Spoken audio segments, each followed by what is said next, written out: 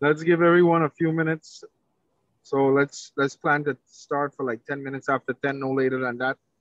Give everyone a few minutes to get on board. Okay. Thank you, Julian.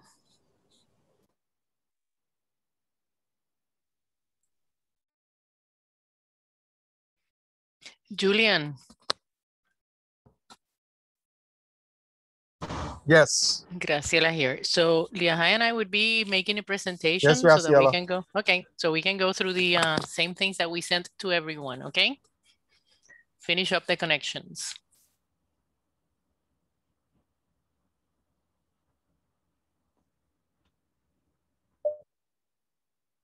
I lost you there for a minute. Are you there?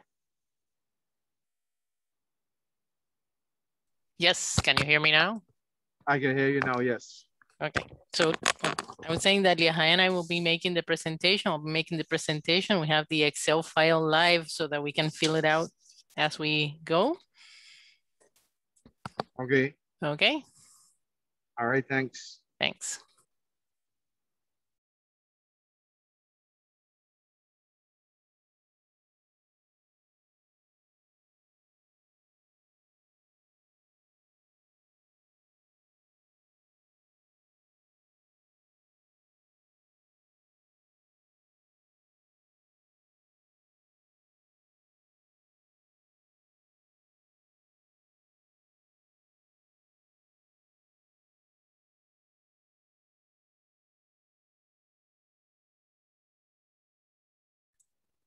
Good morning.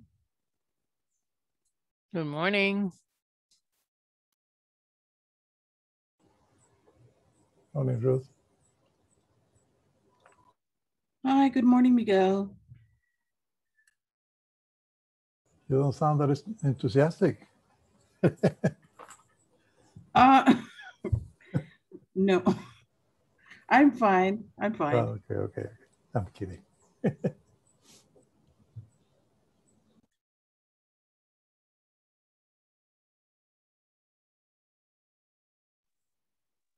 Yeah, morning, Ruth. Um, you should be all excited. You're going on vacation tomorrow.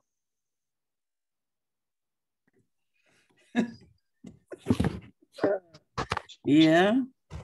You should be loving to get on that plane. Um, that's like mixed emotions, you know. All it's gonna take is for one person to cough and you know, I'm gonna be like, oh no. Um, yeah, I'm pretty excited. I mean, I've never driven across the United States, so.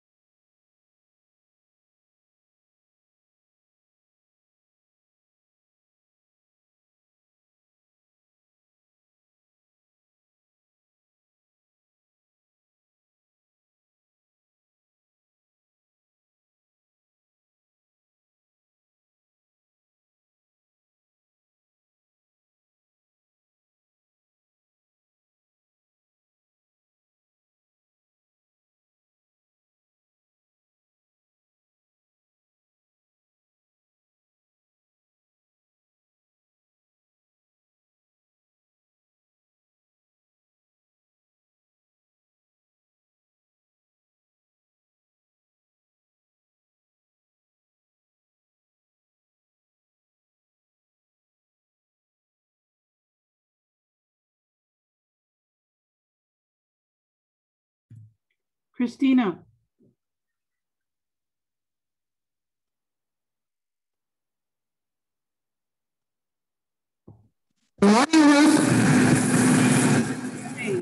Um, I'm finishing Julian's interview. I'm typing all the stuff up now. Um, and I'll send it to you probably early this afternoon, okay? Thank you very much. Thanks. And thanks to Julian also. Thank you.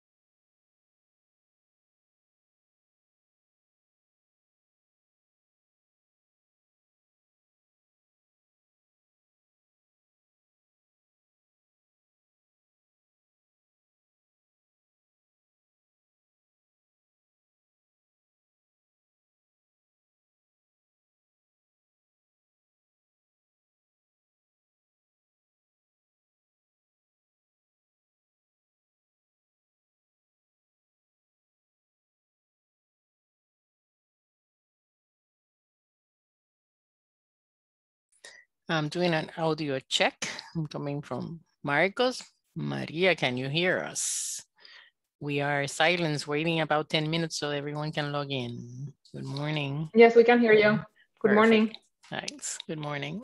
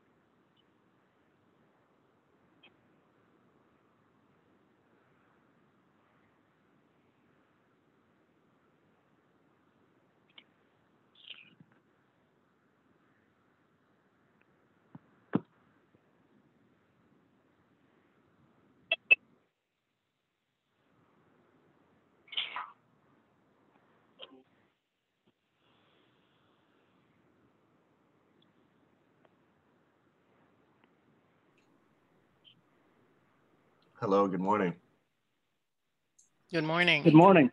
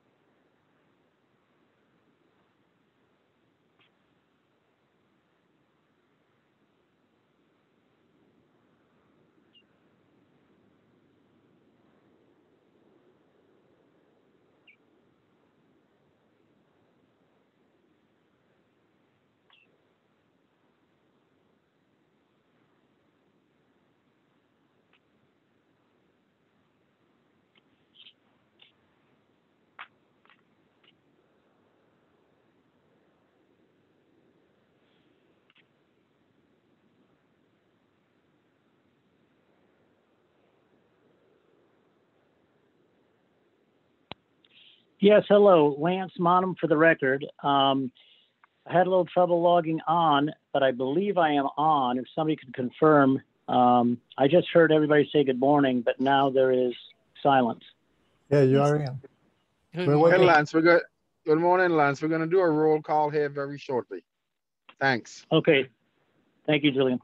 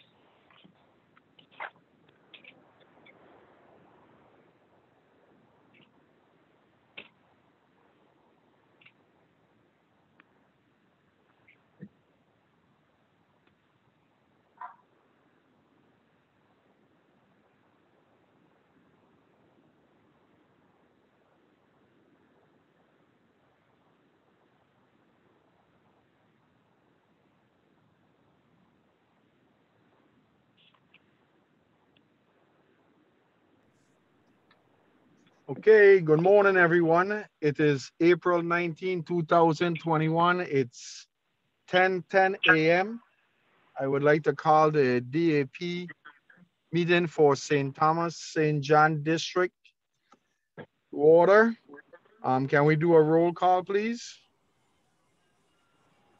Uh, um, on the list, we have Graciela Garcia, Liaje Rivera, uh, Julian McGrath, Lance Armstrong, Carlos Fachete, Colin, así que es Cory McGrath, Cristina Olan, David Ortiz, Diana Martino, Gilbert Levan, Iris Oliveras, Madeleine Goujian, Maria Lopez Mercer, Nicole Grill, Ruth Gomez, Sarah Stevenson, Winston. I guess this is Winston Lede. Okay, um, I have a couple of members that were asked to be excused today because of last minute, um, issues. We have Daryl Bryan that's gonna be excused today, Elizabeth Kadison, who is off island and couldn't get to call into the meeting. Joshua Borg from St. John also, um, has asked to be excused and Gregory Leday also asked to be excused. Um, I have one of the members supposed to be joining shortly. So um, I guess we're gonna have to move forward with who we have today. Um, after this meeting, I'm putting on a record that I will be um, revisiting the members and speaking to them all individually and ensuring that they all still want to be part of this committee because it's very important that we have a working committee so we can move forward with the, the agenda items um, representing all areas of the fishery. So also one other um, item I'd like to put on the record, um, for those members who are participating today, we need your input. We need everyone to speak up when the opportunity arises um, after presentations or during presentations to bring your point across. So please, everyone, I need your participation. With that said, um, Miguel, um, we can start with the first presentation.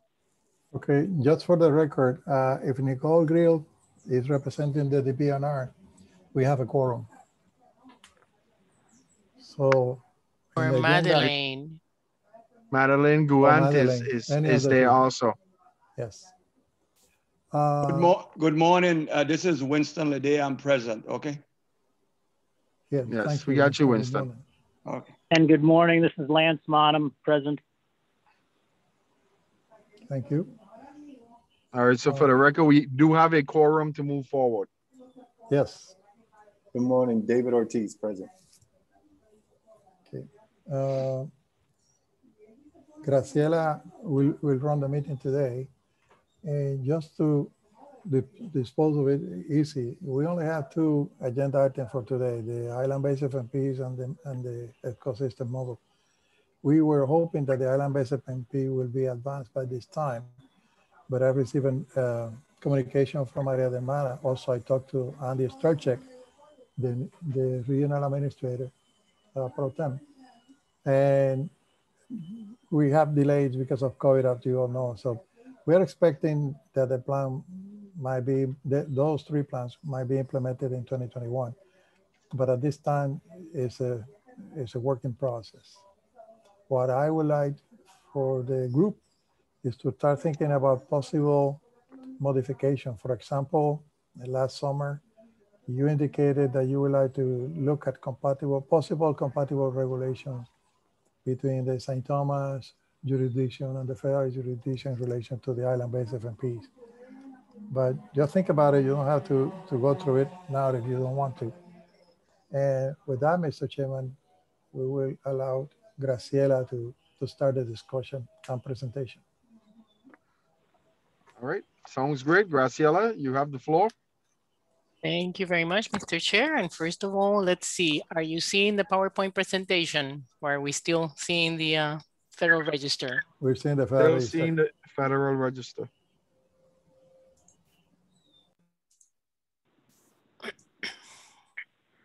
There we go. Excuse me. So first of all, thank you very much for all the contributions that the St. Thomas uh, DAP has had regarding the ecosystem conceptual model that you have uh, put forth.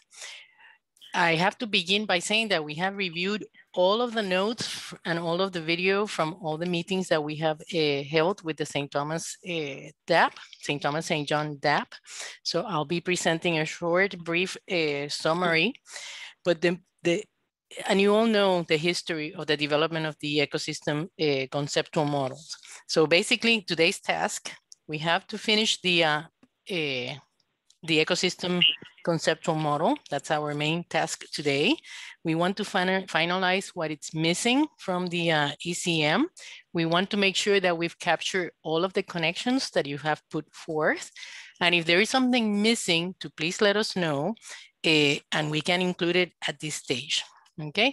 Because this will be the last time that you see it in this format. We'll show you some of the scoring that uh, has taken place regarding the uh, information that you have provided to us. And then, excuse me? Everything okay?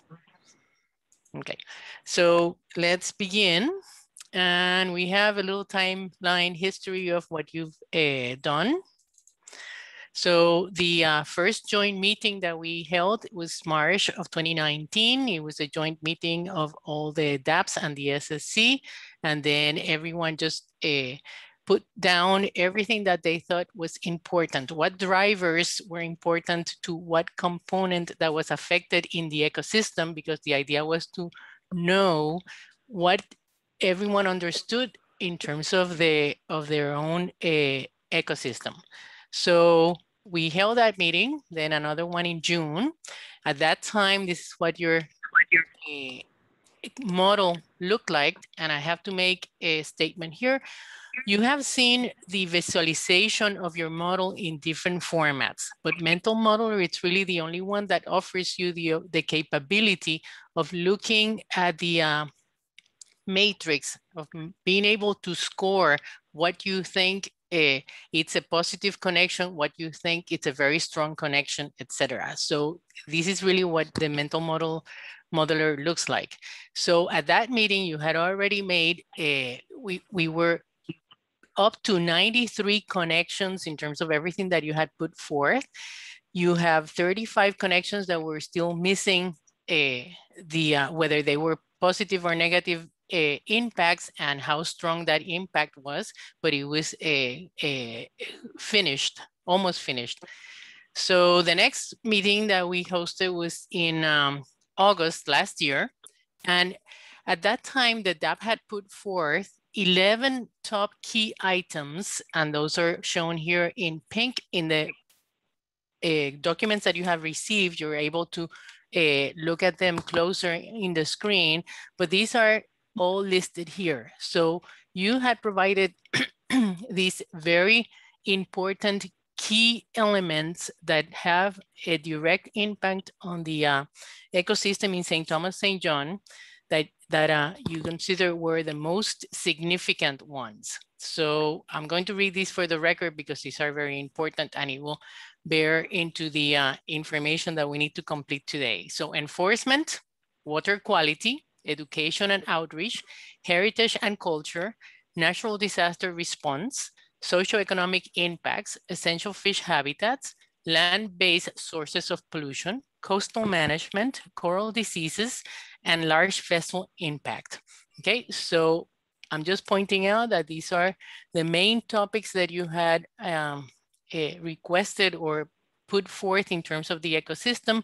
And when you see all these lines and you'll see more, and these are the ones that we're going to finish today, the ones that have the question mark, like right here, uh, you'll see how this all comes together, okay? So the updated connections that we need to look at uh, today. So everything that you see in blue, it's a positive uh, impact from the driver to the component that it's affecting. The brown lines are a negative impact from the driver to the component that it's affecting. And then we have all these question marks that you may decide to uh, score today, or you may decide to remove them. In the case of St. Thomas, uh, you've done a consensus statement. So your scores are based on the number of participants that agree uh, when we have gone through all these uh, connections. And that's the way that it's expected to be done today. If anyone has any specific opposition to anything that it's all the connections that we're going to show, to please come forth and say it because that we also take into consideration. Liahai uh, Rivera will be intervening with the, with the uh, presentation because we will be going through the uh, comments that you've already made to make sure that uh, from those connections that are missing, we have the information that we need, the rationale to connect the, uh, the dots. Okay, so briefly, we have six missing boxes that were just loose in the uh, in the model. So we were trying to figure out what you wanted to do with strong winds, ground swells, heavy rain, beaches, natural filters, and state government DPNR. And what we've done is that we have access to the Excel file, so we can go through them and you can tell if, if this is the driving component, what's the affected component, if you want to put strong winds, ground swells, heavy rain into uh, weather, and then if all the affected components are the same, then you can let us uh, know that. We need to know if that's a positive or a negative uh, driver component connection and your score. So these are the things that we used uh, and you saw in the email that we sent that we give it a 0.5, 0.25, 0.5, and 0.75. This is just a basic score so that we know uh, uh, what the average is for that pair. And then we also use the number of participants. So it's very important that we know that everyone that it's in the uh, in the call today, in the webinar today, in the uh, meeting today, it's uh, in accordance with what you'll be uh, deciding. So in addition to those six loose boxes that we found in, in the uh, uh, meetings that you've held, in the summary from the meetings that you've held, we also have uh, 29 pending connections. So Liahai put them in green here so that you can see what they are you do have, you know, a whole bunch of connections. It's a total of 127 connections, but you've already, as a DAP, St. Thomas, St. John, have locked into the 11 key components. Once we score everything, then we'll know if what you have selected is exactly the same as what the scoring is. And if not, then we'll increase the number of key components to make sure that everything that you consider important and the scores tell us that are uh, important connections are not missed. This does not mean that we're not going to look at all the 127 connections eventually with all the other groups that are looking at the um, to develop ecosystem conceptual models to present to the council. And the other groups are other commercial fishers, for example, that do not participate in the council uh, meetings regularly, or recreational fishers, NGOs, academicians, etc. So there are a number of groups, you know, the Science Center, the LenFest are looking at different, at other groups that will be creating a, a ecosystem conceptual models. So the idea is then to look across all of the uh, conceptual models and determine what, what are the most significant uh, driver component connections that people are uh, thinking about when they think about the marine ecosystem. Okay, so I will have the Excel file up in a second to look at the driving component, affected component connections that were missing. These question marks are the reflection of what you saw in the model. So you have things like ballast water, closed areas, coastal development, lithium ion batteries. And these are things that were mentioned in your previous meetings, but for which we don't have a, a connection. So we would like to complete these or, you can delete them if you want, or if you need to add anything to this, we need to look at, at these 29 connections to make sure that we have everything that you've talked about throughout your meetings. So finally, you've also had the uh, fisheries model that you've created, most of that in terms of the regulatory agencies. So to, to date, we have not been able to uh, uh, look at those regulatory agencies or to have them at the table, uh, as you know, but still you've gone through the exercise of doing this. So we have some connections that you've already established, but we also have some question marks here that we would uh, like to fill in if you would like to do that. And if not, we can just leave it pending. You tell us what you want to do in that sense. So this is the, uh, the specific fisheries model connections that you have uh, left. So we can come back to this also at the end because this will be trickling from the very expansive ecosystem conceptual model to the very specific fisheries model for the Virgin, for the St. Thomas, St. John area. Okay, and I think that that's my presentation, Mr. Chair. We'll move into the Excel uh, file unless anyone has any questions for us. Does anyone have any questions? Thank you for the presentation, Graciela. So everyone understands this is where we left off. I know it's been a while. Um, but I guess we're here today to try to finish complete this so we can move forward. So uh, from what I understand, Graciela, the next step is to start to fill in the boxes. Uh, that is correct. So remember, uh, we and Liajay will be uh, uh, reading for us if there are any specific comments that you have made from which we could not deduct what the connection was. So we'll be filling in these blanks. So there was a lot of mention about ballast water and the and impacting essential fish habitat. So I mean, we can infer from what we know, but it's better if the DAP St. Thomas St. John makes that statement, whether it's a positive or a negative impact on the essential fish habitats and then how much of that impact it is. I believe that in your notes, it states that there is supposed to be a regulation that ballast water it's supposed to be, or, or vessels are supposed to clean uh, the, uh, the ballast water out of the three nautical mile of the territory waters. Is that correct? That is correct. Um, I think that I think the issue that we were having with the one of the issues that we having with the the ballast water was we we have been introduced to invasive species being added into our waters, which have caused a lot of issues from the the lionfish to the invasive seagrass and now the I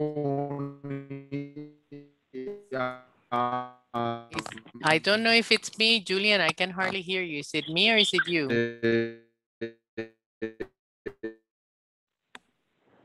Can anyone hear Yes. Julian? Uh, Lance Mon, for the record, no, he seems to uh, be breaking up. Only coral disease. So um, that's that's a big problem. And can you guys hear? me? Yeah, Can you hear me? Uh, Nicole, Hello? Nicole Grio here. Julian, we lost your last two sentences. Can you hear me now? Yes. Yes.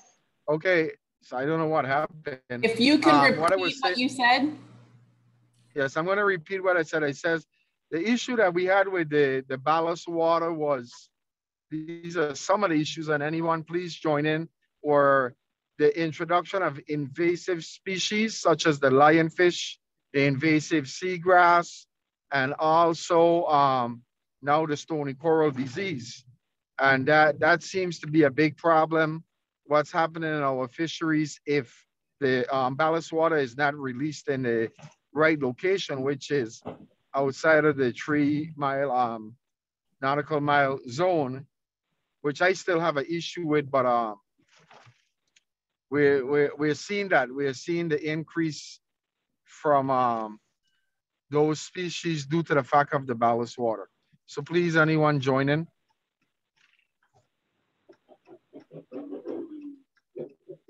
So from what you're saying, I understand that it's a negative impact on essential fish habitat. Well, I don't know if, if, yeah, it's a negative impact, yes.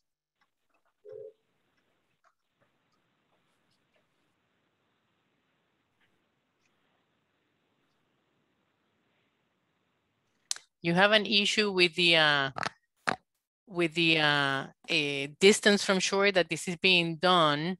So you think that that ballast water can it it it provides a very high uh, impact on on by bringing in uh, invasive species and impacting corals by providing the pathogens, you know, for the coral diseases. So would that be a high, medium, or low?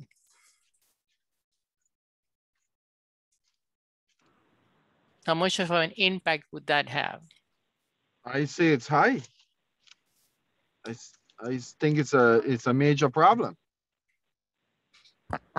Okay, so Julian, we would like to do this by consensus. So if, if I think that the best way would be if no one has, no one opposes what you just said and what we've written on the screen, I believe you can see the Excel file, correct?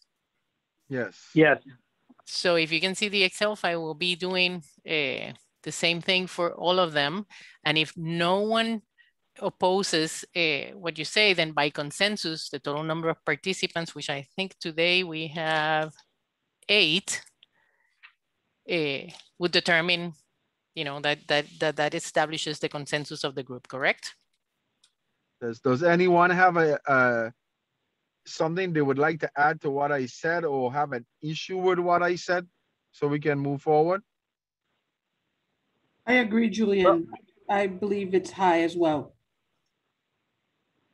Yes, Lance Monum for the record. Uh, yes, I believe it's high as well. I think that's problem ballast water around the world with them transferring all kinds of uh, uh, uh species to uh, different parts of the world. So uh, yeah, I believe it's high here as well. Colin Butler for the record. I, I agree as well. Okay. So by consensus, that's going to be your score, and that's what we're going to include in the ECM. So the next few are directly related to the driving component of closed areas. So these you have divided into inshore reefs, lagoons in Benner Bay, offshore reefs, seagrass beds, seasonal closures, and managed species. We think that probably putting a, and, and this is a question for the group, something like a closed areas and essential fish habitat or or habitats in terms of the inshore reef, lagoons, offshore reefs, and seagrasses uh, would probably collapse. Or if you have very specific no very specific notion of how a closed area impacts the inshore reefs and the closed areas, the, the uh, Benner Bay and the offshore reefs, then we can leave them separate. So you let us know what your uh, thinking about this is. You can leave them separate and tell me what effect the closed area has on these areas. Would these be positive impacts that the closed areas have because they will protect uh, the habitats and the fish species within those areas? Or is it negative because being closed, you cannot fish and therefore there is no uh, fishing going on? What, in which direction are you thinking this is going? But I would think it, it would be a, this is Joey Magras for the record. I would think that it's, it's a positive impact. But, um, the, you know, one of the problems with us, you know, um, having all of these different closures is not doing any assessment. So how, you know, what are we going off of is what we think it's supposed to be doing. So, but I, I do think the area closures are doing well. The issue with that, another issue with that is what are the invasive species doing in those areas? And what are we doing to remove the invasive species? Um, example, a lionfish from those areas. So, um, but I think overall area closures are a positive um, impact. That's my comment. I'll let the rest of the team join in.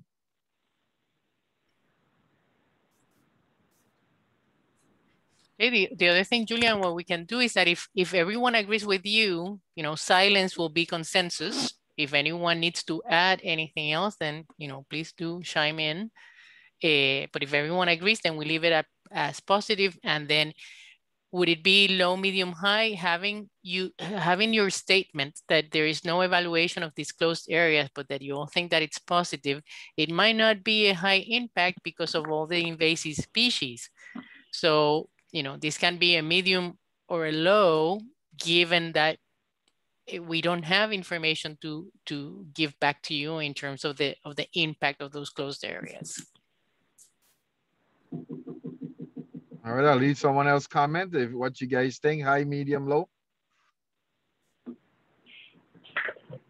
Well, uh, Lance Mon, for the record, it seems there's a, a, a big difference between, say, uh, you know, each of these, I don't know if you could categorize them all as the same. The offshore reefs are totally different from the inside lagoons. Um, inside lagoons, due to just various different runoffs of the island, uh, uh, you know, are uh, much more highly polluted and have a lot, lot more problems than the offshore reefs, which are getting, of course, fresh water, uh, you know, cleaner water running across them. But um, so I would just say, uh, you know, that they are a little bit different. Put categories, categorizing them all exactly the same.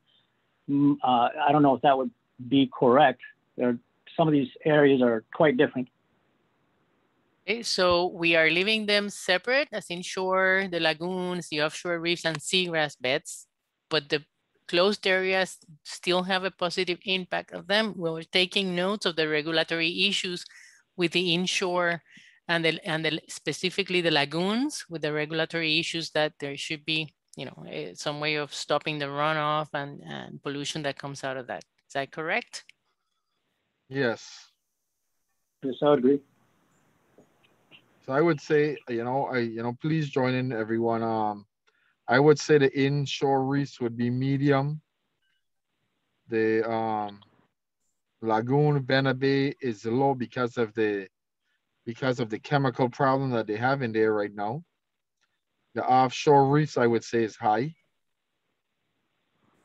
And the seagrass, I would put as medium because of the anchoring and um, not enough moorings to accommodate to accommodate the, the yachts.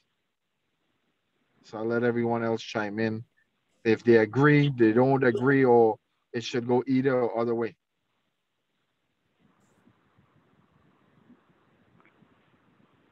Yeah, I, I have no problem with what you've got listed there, uh, Julian. Uh, Lance Mon for the record.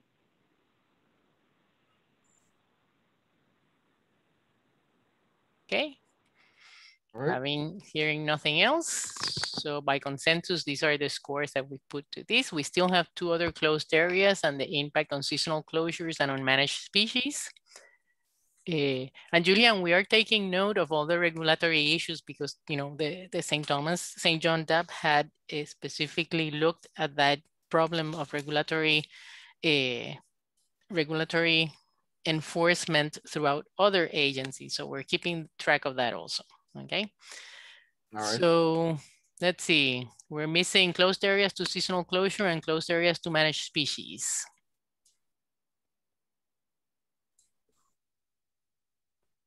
And Liajay, if we have any notes on these, and remember that yes, you know, things had been discussed, we just don't want to miss anything. So if you think that these do not apply anymore, we can uh, take them out of the list. Uh, if I may speak, I have on my notes here from what I gathered from previous notes on from July 30, 2019, uh, closure evaluations in parentheses referring to both spatial and temporal concepts. Uh, that's what I got here. Um, I don't know if there was any other um, specific comment related to those two components, affected components. Thank you.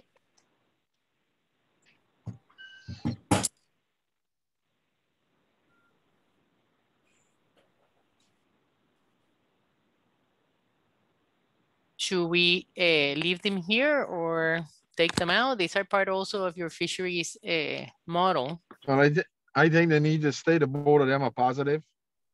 Okay. Yes, I would agree.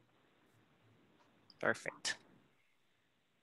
And now the As far score. as, as far as the scores, I'm open for suggestions.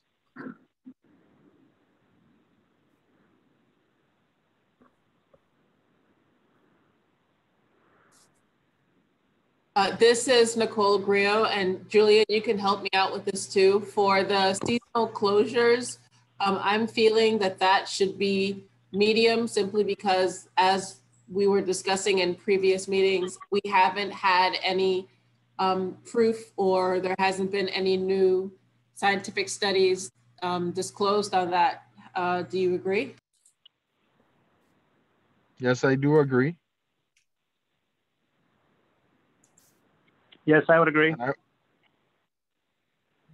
and I would say the managed species will be medium also. Due to the fact we've been protecting these large groupers and we don't know what they're actually doing to the ref, rest of the, the fish in that area because of their large consumption of food that they eat. So, you know, that's something that I mentioned recently that um, we protecting all of these big groupers and uh, they're multiplying. So with them multiplying, the demand for food also increases. So what are they actually doing to the rest of the the stock that's um that's within the area?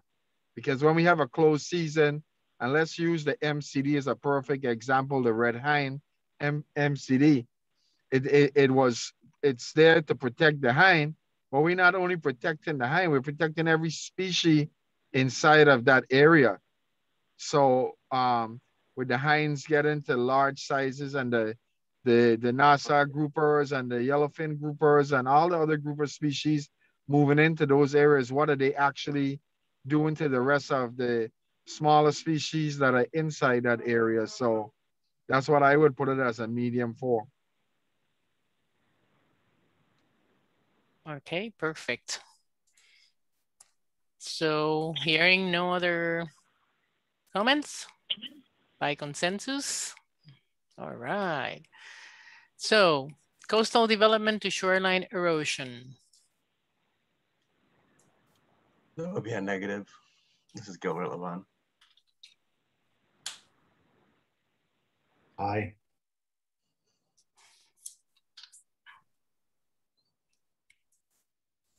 Okay, we all agree, right? I think that that's, yeah, we, we are crossing, putting all the dots over the i's and crossing all the t's. So bear with us, okay? Yes. Thank you. Yes, no, I, Okay, so hearing nothing else, communication to compliance and communication to council authority. Leah, hi. do we have any notes on on this communication?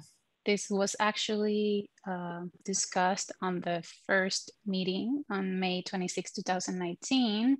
What I retrieve from the notes are that communication, how do we get them involved, identify who we want involved, get them to participate. That's, that's all I got regarding communication component. And that's the only thing they talk about it. There's no other side notes on, on it. So from what I've heard from that comment, that would be that in order to increase compliance, uh, you need to increase communication. So right now there shouldn't be, I mean, there is a problem with communication. So is therefore this one, uh, how do you want to see it, a positive or negative? The council has the outreach and education. There is the liaison uh, people from for the Virgin Islands now.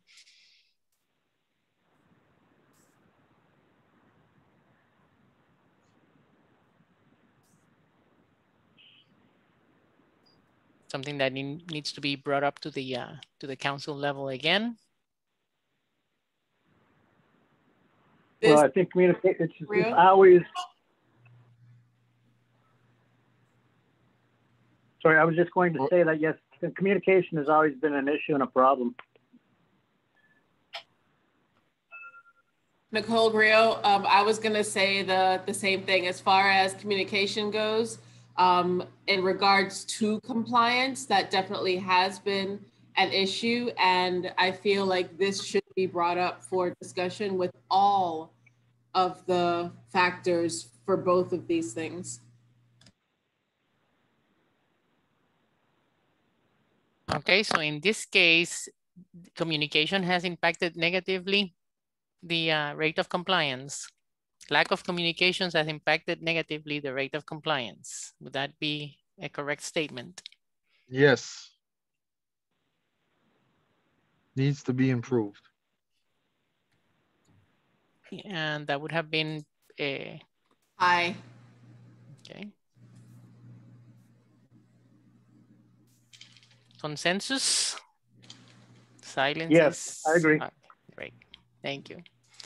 And the same thing for a eh, communication to council authority, as I heard uh, Nicole say before.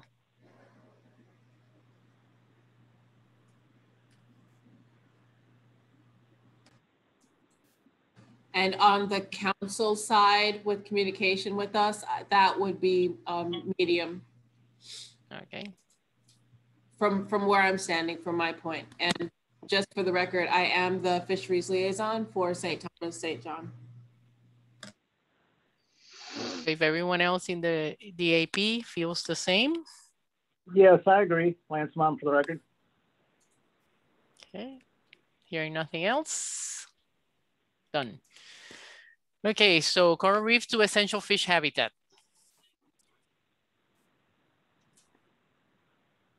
This is Leah speaking. Um, notes from March 26, 2019. Uh, we've got coral reefs and juvenile habitat are not doing great. And new disease Skittles from Florida and took off in Florida after dredging in our harbor and now St. Thomas. And that's all I got there. That's all we got in the in the notes. So yeah, so so this is reviewing all of the notes, all of the notes from everyone, all the video that we've had from the uh, or the recordings that we've had from the DAP meetings. Uh, what do you want to do with corals to essential fish habitat? Well, I think it's supposed to be positive. But I, okay, so. If I'm wrong, come on, team. I I need to hear from you guys. Right, this is Nicole Grio. Um, so with the essential fish habitats, this is sort of a double issue with us because right now studies that have been going on with both NOAA and with different um, coral organizations and the University of the Virgin Islands, we are losing a lot of the health of our essential fish habitats around the islands of both St. Thomas and St. John. So it is a positive thing, but however, as far as the um, the health of it goes, that's that's not good. So I don't know if we have any other scientists that are on right now. Um, Madeline, I believe, is St. Croix um, fishery for the East End Park. I'm not really sure, but maybe she can help with this. Yeah, so this is a little bit outside of what I would be able to speak to scientifically. I'm in the Mars Hill office here on St. Croix for policy issues. Okay, but but the So- thing is that, so that yeah, I guess go that ahead. here's the question. This is Gilbert now. Is the question as it relates to essential fish habitats, are they being affected positively or negatively? Is that what you're asking us to, or the condition of them right now? And if that is the question, I'd say essential fish habitats in the in the St. Thomas St. John district are being affected ne- negatively right now. But just I need clarification on what exactly the, the question is, right? Okay, so coral reefs, you know, from what we heard Julian state that with the diseases that are uh, invading the, the coral itself, then that's a negative impact on essential fish habitats in general. In the case of the research that it's being done, uh, there is a lot of research going on in terms of the coral reefs, uh, but uh, and you are losing a lot of uh, essential fish habitat in the uh, in the St. Thomas St. John area. So in this case, I mean, that all points to if everything was well, then it would be a positive impact because things are not going well, then this might be a negative impact. And the rate at which coral reefs are being uh, uh, losing are losing their health and it's impacting uh, its function as essential fish habitat, then that would be a low, medium, or high impact as you see it from your perspective. Okay, so I if it as everything was fine, it would be positive. But everything that I've heard is that there are problems with the coral reefs in St. Thomas, St. John. Yes, I think that needs to be changed to a negative. Okay, Lance Mom for the record. thank you. And then in that case, I mean, is it spreading the disease at a rate that it's alarming that you consider that it's uh, definitely having a very high impact on uh, EFH as a whole? Or is it a very low spread?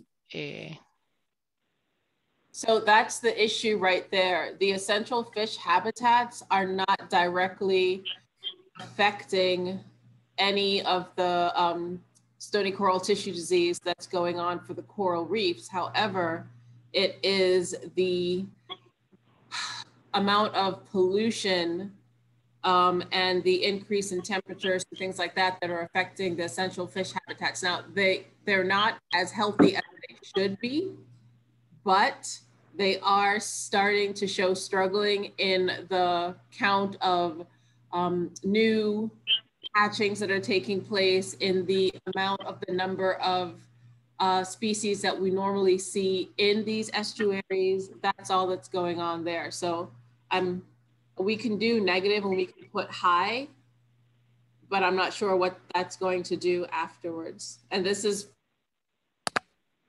So you, we'll make sure that the other connection that you've mentioned, I think it's already made from pollution to either coral reefs or to essential fish habitat. And that's how this gets connected from coral reefs and the spread of disease, etc., to uh, impacting essential fish habitat in general. Did I hear you correctly? Correct. Okay. I would say, I would say, Julia Magras for the record, I would say negative and medium. So, Okay. you know, I need to hear, I need to hear from everyone else. Is it high or is it medium? It's medium. That's correct, Julian.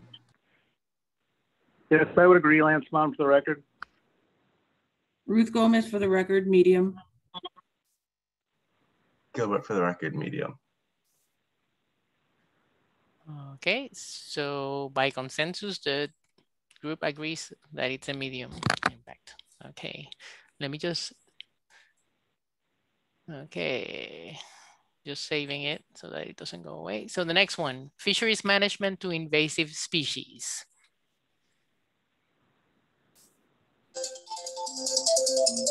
So this is one of those, uh, I don't think we have a, do we have any comments on this, Liajay? I was reading on the notes. Um, okay. Uh, from fisheries management to invasive species, uh, there are there is a note about it. Inva it says invasive species and ballast water should take a step further. The grandfather system for older chips needs to be addressed by USCG. Any kind of funding assistance from the powers that be. Um, that's all regarding or almost related to to invasive species and fisheries management. There's no other info of notes on it.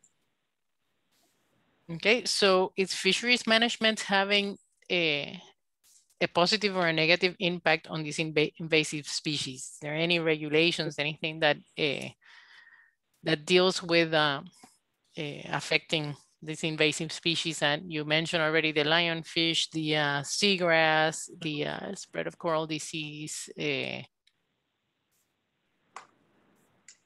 Well, Lance Mom, for the record, um, it seems to me the fisheries management can only be, you know, uh, a positive Im- impact on it, but, you know, to the degree that it's positive because uh, sort of a losing battle with uh, there's so many invasive species, you know, you can only do so much, but it's not as if, you know, we do need the fisheries management to do what they can.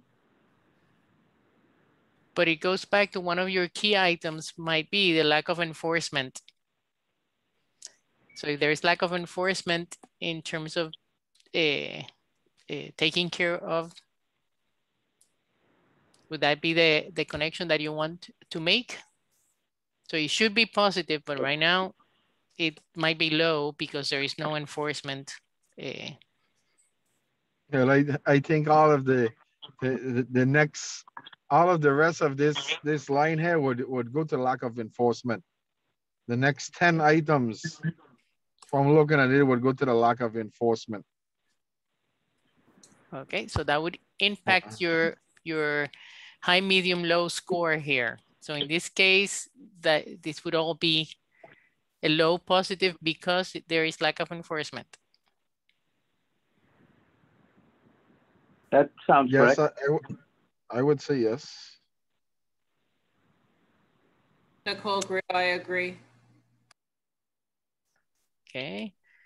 And would you agree based on what you just said? So it's nothing, nothing else to discuss in terms of fisheries management by consensus, we'll agree. Lance Mom, for the record, yes, I agree. Okay. So let's go to lack of pump out stations to sewage outfalls. There is a note about it. Um, runoff of runoff of primarily sewage, treatment plant with pipe going out into the ocean, pump right into the harbor, pipes going out deep, sewage outfalls of primary treated waste, houses all pump into waterway. Yes, I think this is a very, very, one of the largest problems, I believe, Lance Mount for the record.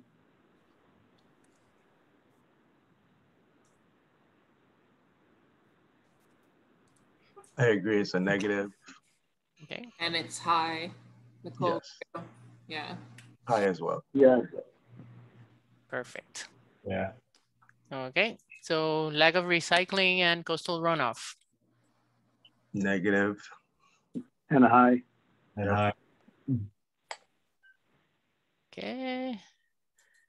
By consent. So I'm going to wait for someone to oppose it. If I don't hear anyone saying that's not true, I'll continue, okay? Yes. Okay. Sounds great. So land-based sources of pollution to marine debris. Negative. High.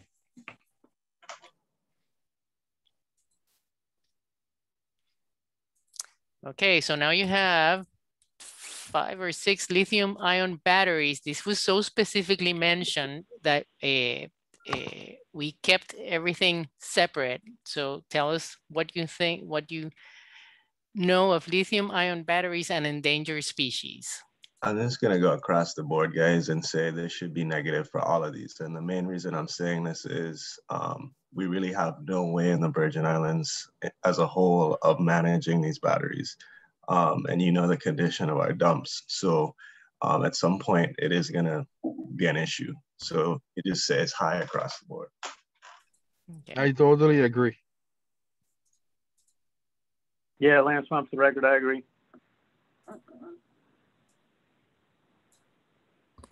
Great. Thank you very much. And and the other thing that I want to mention is that remember that all these items that are here, uh, either they, they'll be part of the documents that will be prepared for the fishery ecosystem plan. Okay, so uh, even if the score doesn't get too high, gets them too high, they will be part of the uh, documentation.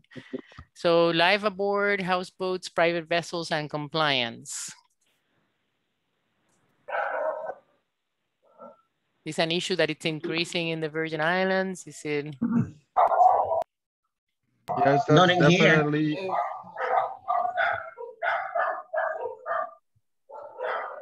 Well, um, Lance Mom, for the record, um, the live board and houseboats and private vessels. Um, I got here in '87 on a small sailboat and lived on it for three years. And uh, you know, well, it, you could have one argument that says, okay, well, yeah, there is a little bit of pollution if the uh, sewage is pumped straight into the water, uh, you know, and that they could be contributing. But it's my opinion that uh, the, you know, uh, if you, what is there, 150,000 people on St. Thomas, 100,000 people on St. Thomas, most of that uh, sewage getting pumped straight out in the, you know, in comparison, I think it's relatively low the amount of pollution that they create in comparison with, say, pump out stations and stuff like that. But I mean, you know, if the question is, is they, uh, you know, if you told them all of a sudden you told them all to leave, would it be less pollution? Well, probably yeah, a little bit. But then, you know, I mean, where do the boats go? Or you know, I mean, uh,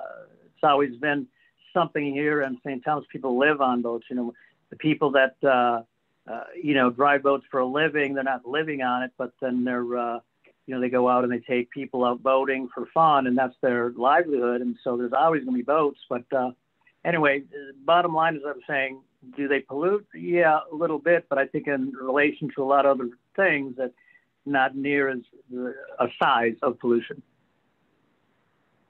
And, and do you think that these vessels uh, do impact compliance? I mean, are they complying with the regulations or is that the actual problem that there is So I that think, lack? I, I, this is Gilbert here. I think to Lance's point is this, I think we want people to come and enjoy the Virgin Islands and, you know, we're looking at it from a fishery standpoint, but the resource is here for everybody.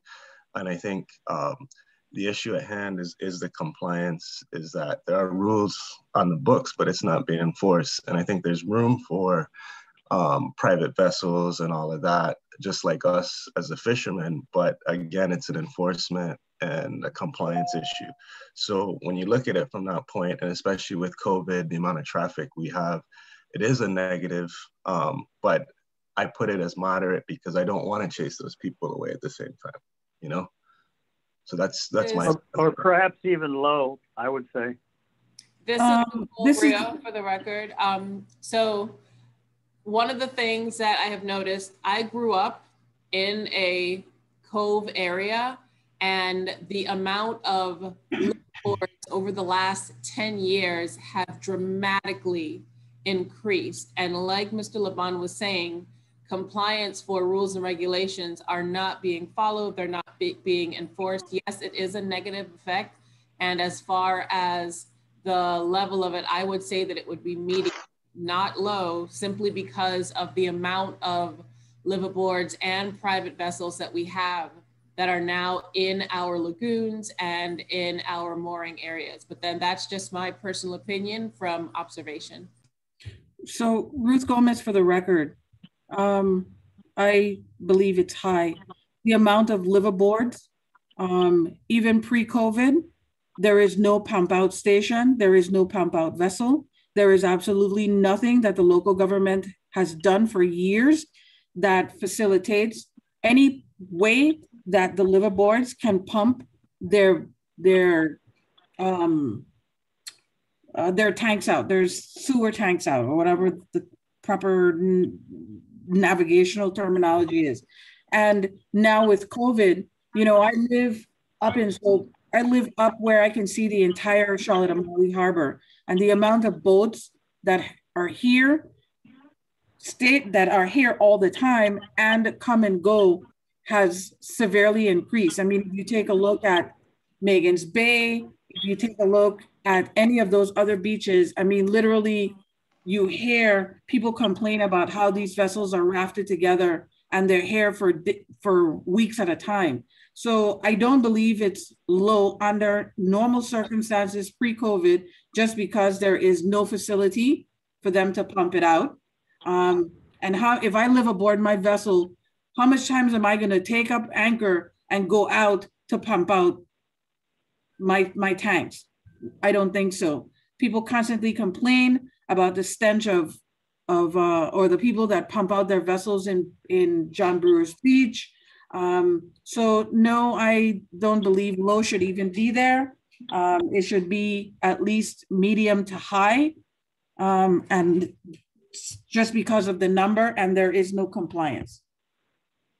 Yeah, Colin Butler for the record. I agree more so with Ruth as well. Um, I mean, liveaboard houseboats, um, in this particular private vessels alone, just staying in um, at the docks in the marinas. Um, I know a lot of these marinas actually allow liveaboards um, in the marina, and the fact that these marinas don't actually provide pump out services at the marina, that should say enough right there. Um, I leave the marina a lot early in the morning, and I could tell you what I smell when I leave in the morning, and it's not pretty. We all know what everybody does early in the morning. Well, Lance Monum, for the record, um, you know this this involves uh, compliance as well. Uh, it's my understanding uh, back in the day there was more areas. Basically, people were um, they had a place to a company was coming to the boats and taking their sewage and bringing it to a pump out station that then basically just pumped it into the bay, which is not pipe, piped out any further. So basically, liveaboard boaters who were complying were basically paying a fee to a company that is taking the sewage to a pump up station that does not treat it at all and then pumping it into the bay. So then, uh, you know, I mean, what is the point of complying when that is, you know, it's just getting pumped right into the bay anyway? I mean, that goes right back to the pump out stations and treatment of sewage. Or if you're just got a cycle that's just not changing anything, okay, we're going to be compliant. Okay, we bring the sewage to the plant. They just pump it right back into the water.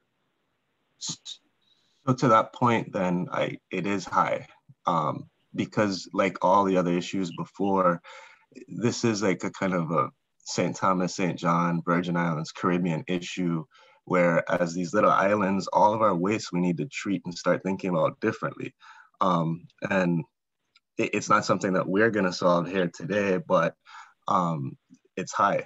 You know how we manage waste as a whole, it, um, whether it be solid, you know, sanitary, all of these things are totally connected. So it's got to be high, guys.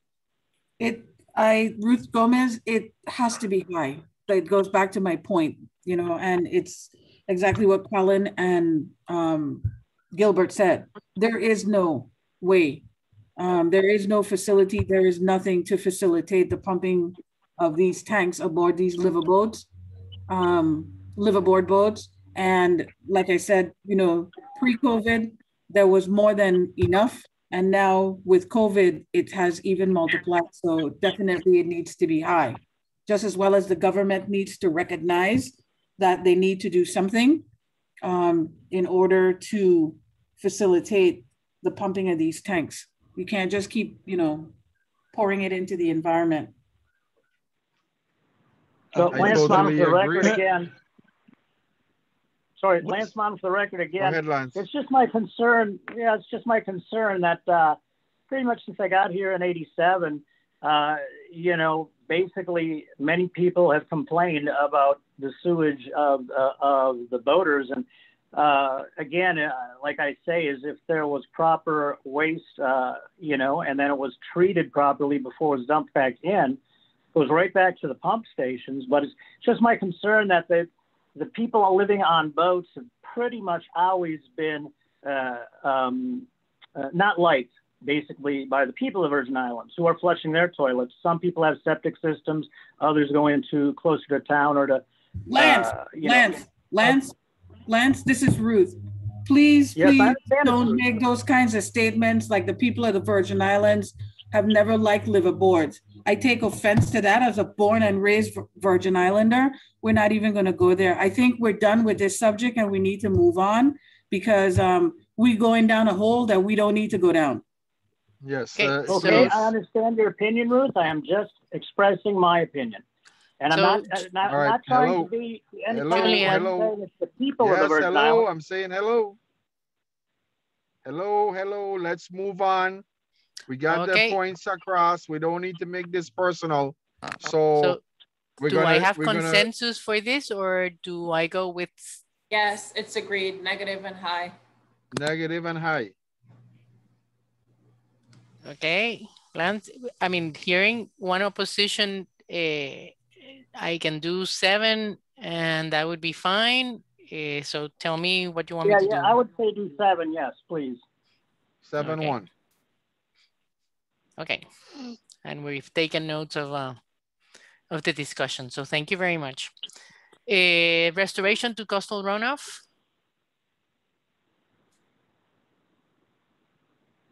It's a negative and high. The reason I say Negative that and high. is, yeah, if nobody, yeah. Negative and high, definitely. Agreed. can I, can I hear what you had to say, please? Who, who was speaking? The reason why I say this This is is, Gilbert. I, I say that Okay. because um, when it comes to coastal runoff, we always think of definitely the mangroves first. And yeah, we know the condition of them. But as you know, we had the storms that have gone through 2017 and you know, it's dry season. When you look out on these hillsides, there are no large trees. That's another part of this, this whole thing that we need to start planting large trees inland to help with all of that. So um, that's why I put that as negative and high. Thank you. Okay, so everyone agrees? Yes. Okay, so Roundup slash pesticides to uh, fisheries.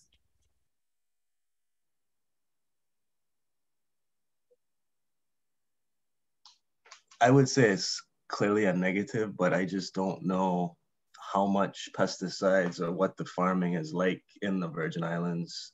Um, so I don't know if there's anybody else here. I know Mr. Lede, you do some farming. Um, I don't know if you could interject at all. Um, uh, Winston Ledea, well, I think they, they passed a law to prevent uh, sun sunblock from people using sunblock, and also, I don't know, we've been having no rain, so we've been having much runoff lately. So I don't know what the effect of that is. I think it's more of the, the dumps of the stuff that we carry to the dumps that's seeping into our water and causing that, you know, pesticides to get Lan- into. Lance Monum, for the record, um, if we're speaking just of pesticides for agriculture, um, I don't think, for example, I have uh, a, a, house and my girlfriend of just the last two years decided to become uh, growing all kinds of different vegetables and everything like that. And I can't tell you how many water trucks I've had to buy for her garden. So when she brings up a tomato, I'm like, oh, this $200 tomato, that's great. You know, anyway, so I'm just saying, I don't know how many people actually farm here because water is, is, uh, is a, you know, a, uh, scarce sometimes and it's hard and you end up having to pay a lot of money to get your vegetables. But that's uh, just, I don't know other parts of the island. If there are some, uh, you do have people maybe. And if you're talking about, you're adding in sunscreen to the pesticides, then, then, then it's definitely high because that's a big part of it is the sunscreen. Is that correct? Is this part of uh, the, the sunscreen is part of this column? Sunscreen is on the bottom of the list. Yep. Um, Colin Butler for the record. Um, with Roundup and pesticides, I think just general chemical disposal of just like general household chemicals, for example, should be included on there because uh, you know, just landscaping companies that spray Roundup and do whatever. Um, just basic basic household disposal of, of cleaning chemicals. Um, even in the marine industry, people are cleaning down their boats with all kinds of uh, random um, varieties of uh, supplies that uh, clean their boats. And um, I think all that adds. And so I think it's very negative. I think it's high because these chemicals are used daily on boats when they're coming in and out, whether it's uh, you know different types of soaps or Clorox or whatever. Um, and with the household chemicals that are being disposed of, and just your normal trash go trash going to the to the um, to the dump site, and also those you know the dump sites on the sides of the roads. I mean, there's chemicals there and, and oils and all that, and just one heavy rain, all that's is, is going into our lagoons and our mangrove estuaries. So I think it's um, it all just stockpiles on top of each other. So I think it's negative and I think it's very high. And that's Colin Butler for the record. Okay. So everyone agrees with the scoring? Yes, adding those chemicals. Yeah, I agree. Okay, so we'll we'll keep track of that. Thank you. So you have two for sargassum, sargassum and water quality, and sargassum on market. Negative, but low. And the reason, this is Nicole Griot. Uh, the reason why I'm saying low for water quality is because this has been going on for decades. The water quality, however, with some studies that have been done, at least in the Water Bay area, even with the um, high influx of sargassum that we had a few years ago, it does not show a significant negative impact on the juvenile sea life or the other creatures that were in that one particular bay that is already inundated with runoff pollution. So just from that one small um, test area, that's why I'm, I personally am gonna say that it's low. Ruth Gomez for the record.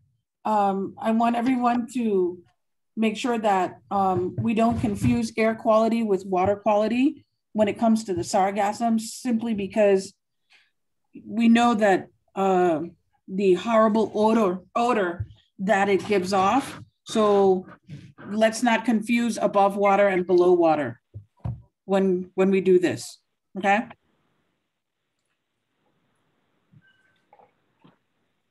Point taken. That's that's very important. Mm -hmm.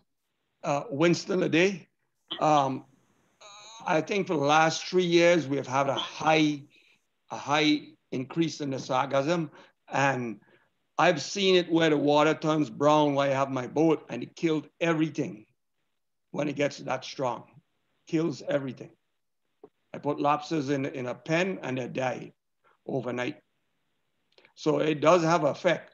I'm not sure if that's what it is that turns the water dark brown with a, with a you can't you know it, it's not clear at all but it seems to be happening when the sargassum is real high.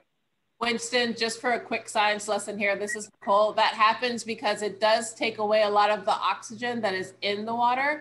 Uh, so your lobsters in that case if you had thrown in maybe an air pump with them that might have helped them out just a little bit more but yeah but what about all the animals that live in the lagoon where I, where my boat's anchored. They can't Right, say they die too.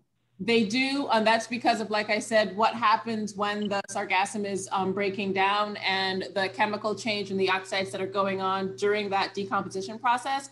But it does correct itself once the sargassum dies off, and it also brings other creatures that are able to thrive in that habitat um, to help with the cleanup of it. So it doesn't last forever, which is why I said it was low. Yeah, it does. It does not. It does correct itself. I agree with that. And and one thing I would like to add to that, you know, it, like Winston is saying, it kills everything. But I I would like to say this, you know, where we have our boats down in Frenchtown, it killed everything, the sea urchins, everything.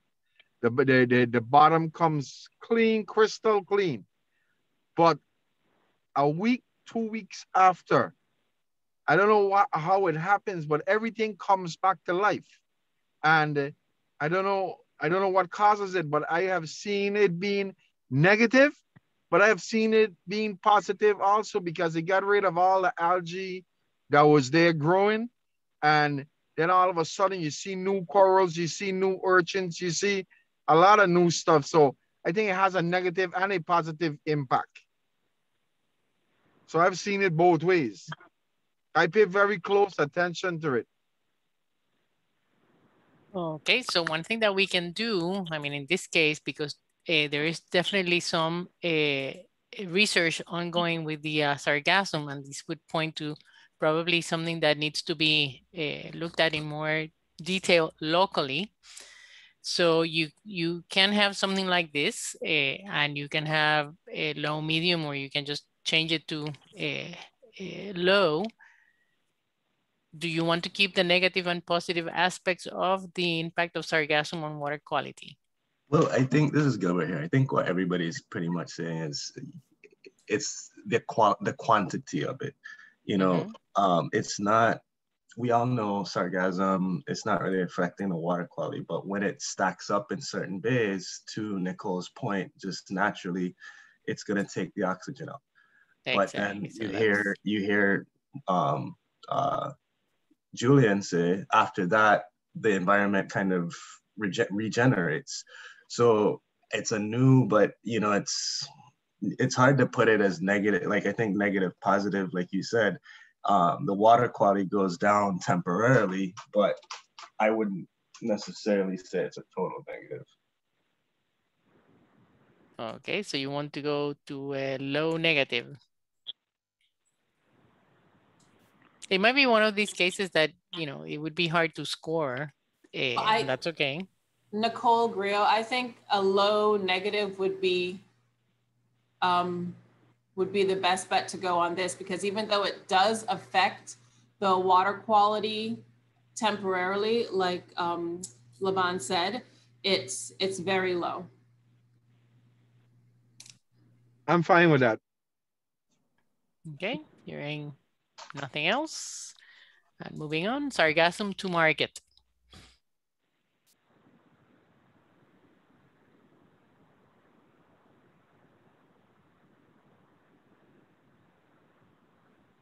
What you mean by uh, to, to market? So let, let me ask Liajay if we have any comments on, on, on this one. There is no comment on this one. It was just a connection uh, already established that was pending. And again, I mean, you can dismiss it now if you don't see a connection, if you don't, I mean, believe me, we've, well, Leah, more than anyone, but Sarah and myself have looked through all of the uh, uh, notes, etc., and we just couldn't find anything related to that. Wasn't um, this is Nicole Grio. Was that not because someone had suggested about the sargassum being utilized for um, either compost or being broken down for some other kind of oils? I believe that was probably why that was put up there. Okay, so in that case, if the market refers to being able to use the sargassum for that, then that would be a positive impact. Correct? Correct, but Leah said that there are no notes. Okay, do you want me to, do you want to keep it or do you want us to delete that line? Julian? Um, I don't know how you guys feel. I, I don't have a problem with deleting it for right now. What's the take on everyone else? I agree. We're not gonna shift up and mark it off our sargassum here, Nicole Grew. Ruth Gomez, delete. I agree. Lance Mom for the record. Okay.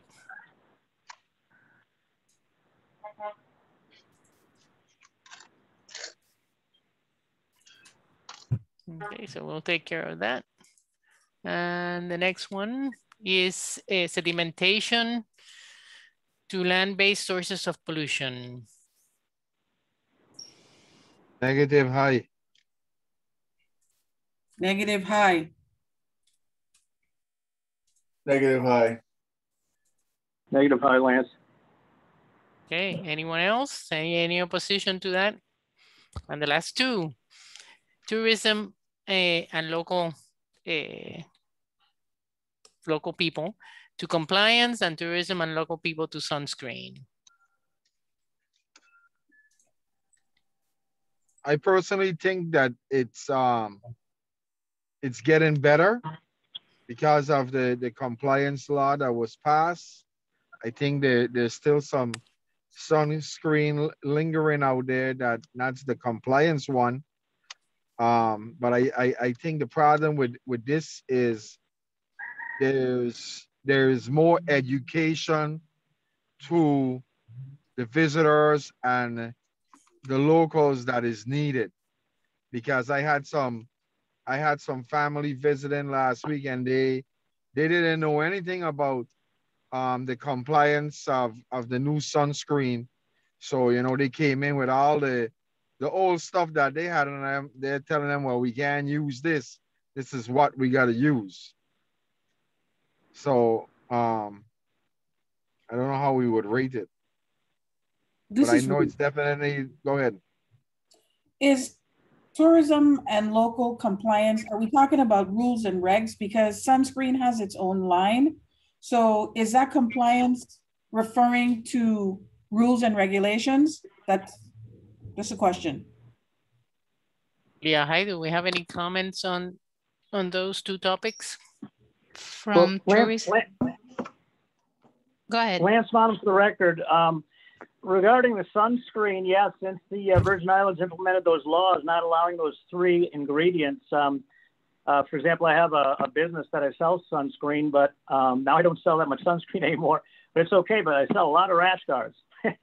and anyway, Ocean Safari started it, but there are a lot less expensive rash guards today than it was five to seven years ago. And a lot of tourists are wearing rash guards now and not using as much sunscreen. Plus, with the Virgin Island laws that they passed, so well, I wouldn't say sunscreen's not a problem. I think it's decreased a lot since the combination of of the laws of the Virgin Islands, and there's less less uh, toxic stuff in some of the available sunscreen.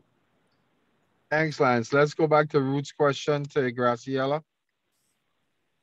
From the notes, uh, there is a comment about tourism affecting the compliance, and that was referring to undersized lobsters as example. That was on the notes.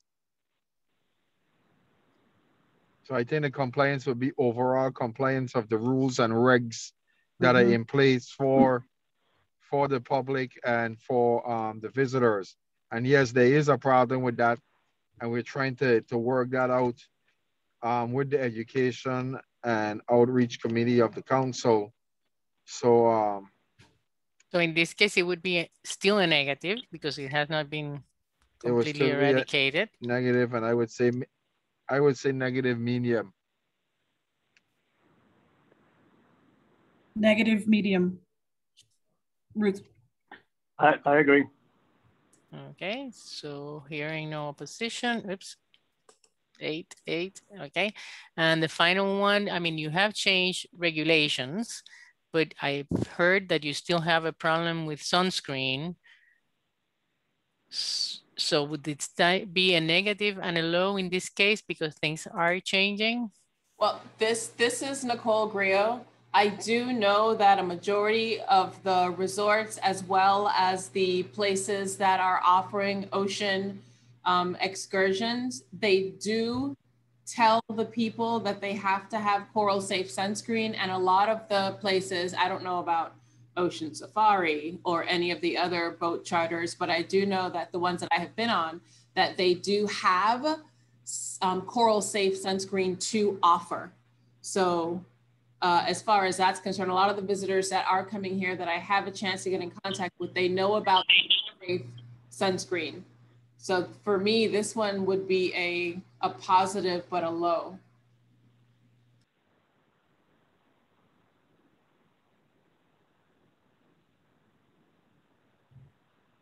Okay, would everyone agree with the changes that have taken place?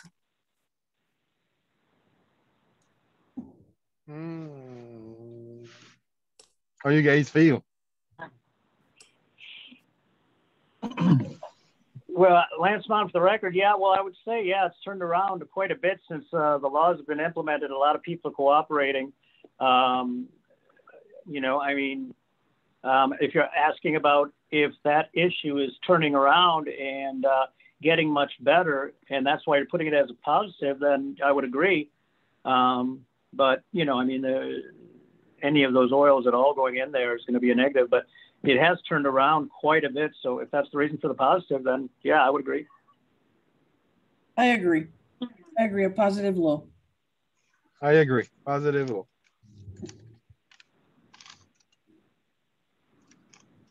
Sorry, I was in mute. So thank you very much. We finished with the main uh, issues that we had. Now I'm going to very quickly go over to the uh, to the uh, boxes that we had left over from the previous mental modeler. Uh, and as I mentioned at the beginning, strong winds, ground swells, and heavy rains being the driving component. Do you want to keep them as such? And what do you see is the affected component in this case? Uh, you do have uh,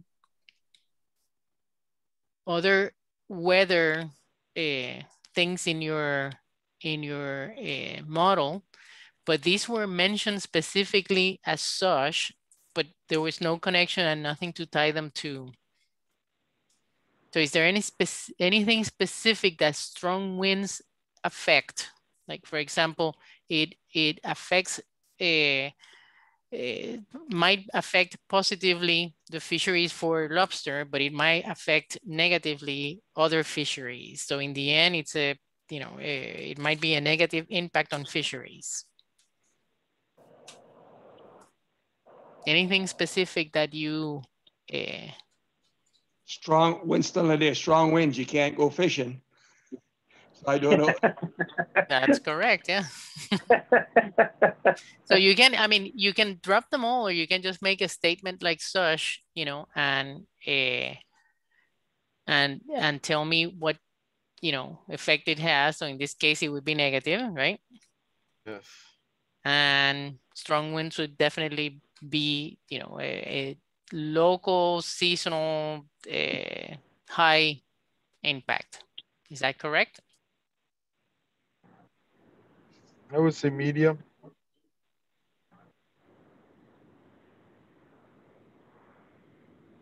Anyone else?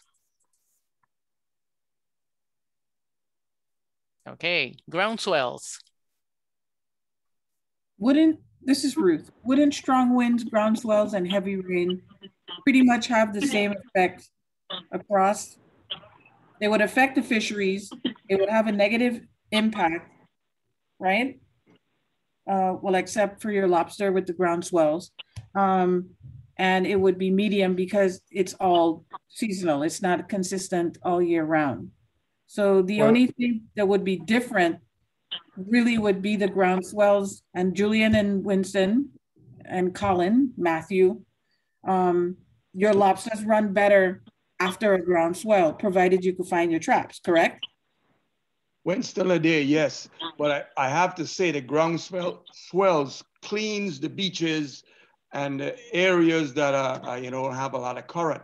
It But I, I, was, I was also going to jump in. I think the ground Yeah. swells and heavy rains, they'll have, at, at least with ground swells, you have coastal erosion issues, especially after the storms and the fact that we don't have the mangroves. Um, I, I mean, if you run up the Narrows, up St. John, where you've seen those big swells that came through the storms, um, you have a lot of erosion still going on when you get a ground swell.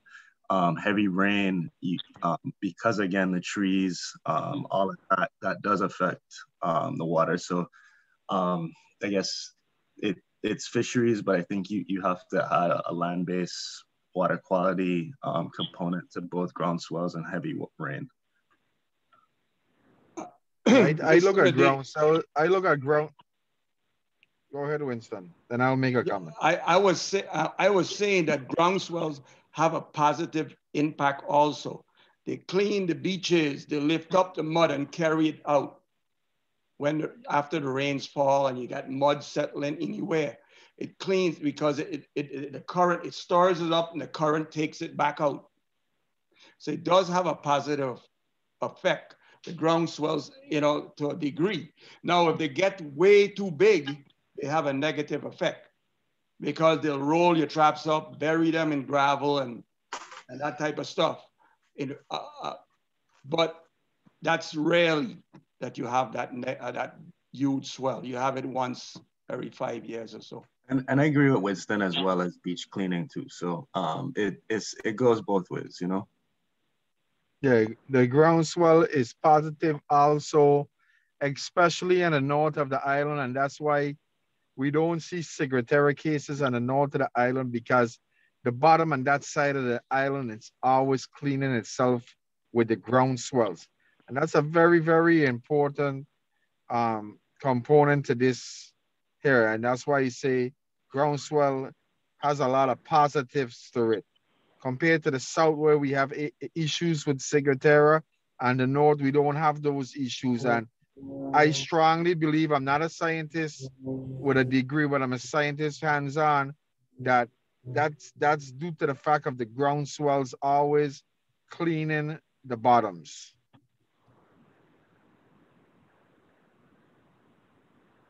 So the way that I've set it up, that we've set it up here, groundswells to fisheries is positive in its majority. Would that be a, a medium also or? yes I would say medium And then I've, we've added groundswells to lobster specifically as a positive and to water quality, groundswells and heavy rain also as positive. Uh, Lance Monum, for the record, uh, heavy rain, it seems to me, I could be wrong on this. It's just, just my opinion is that it, uh, while it may clean St. Thomas, it's bringing a lot of pollution into the water. Yeah, that's what I'm saying. I, I agree. I wouldn't say heavy rain is a, a yeah I would move I would remove number 10 I, I agree.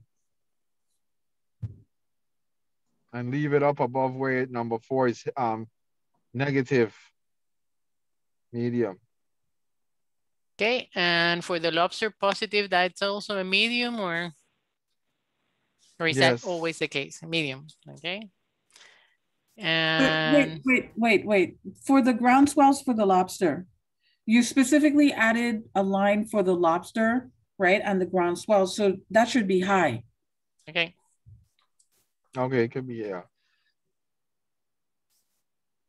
okay, and we also have ground swells to water quality as a positive in terms of all the, uh, we've heard of the cleaning, etc. I would put high Okay. Then we also had the state government DPNR, but I think that that really belongs in your fisheries model with all the regulatory issues. Correct? yes we can remove that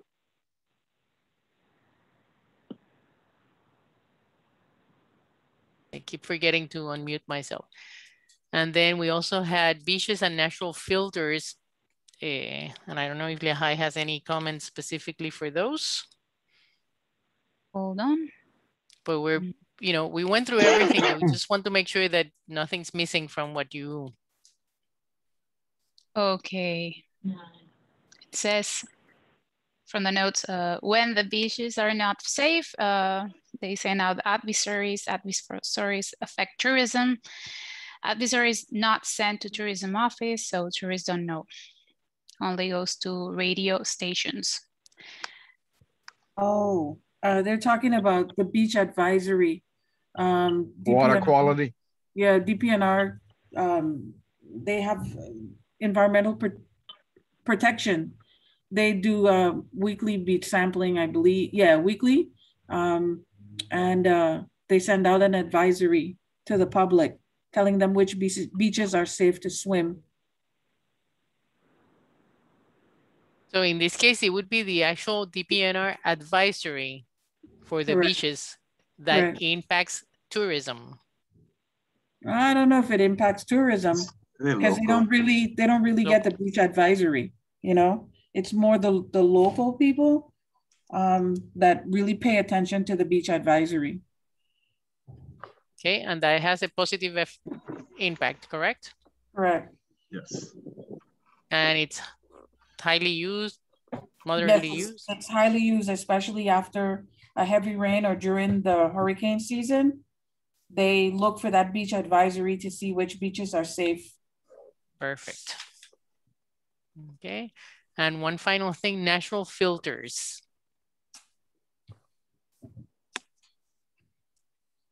There are no notes on that one. We don't want to leave any any uh, rock unturned. So if anyone knows what natural filters are, please tell us or we can, you know, delete it. natural filters, the only thing I could think about is the mangrove lagoon. So you have mangrove lagoons already in your in your uh, conceptual model, do you want me to specifically state natural filter slash mangrove lagoons? Um, if it's already in the model,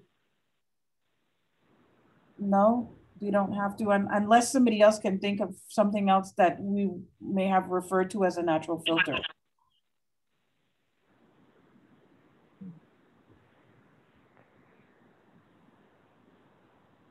Okay, so what's the pleasure of the committee? I would say remove it. Remove. Any objections? No.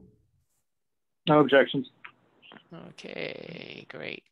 So one last thing.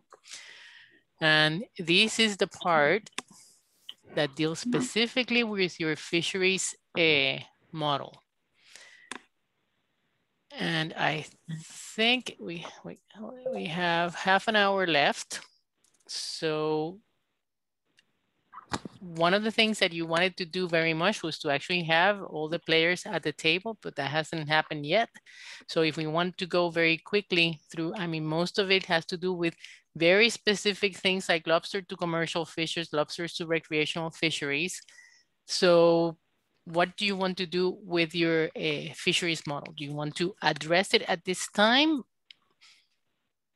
with the same scoring that you've used thus far?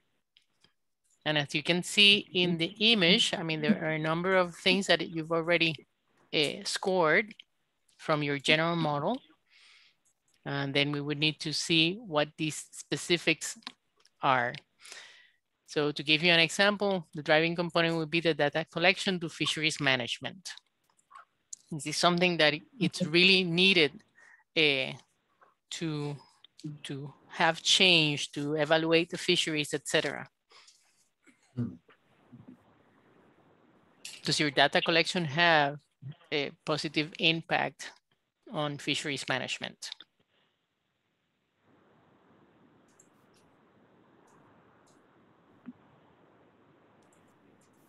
Are we gonna do this, everyone? We're gonna get this done? Sure as heck gonna try, Julian. Nicole Grio here.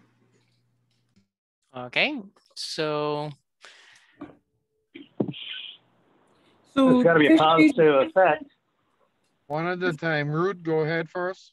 I think it has a positive and a negative effect. It all depends on what your data tells you. Um, it it to me, it doesn't, it, it can go either way. It could be either positive or negative. Correct.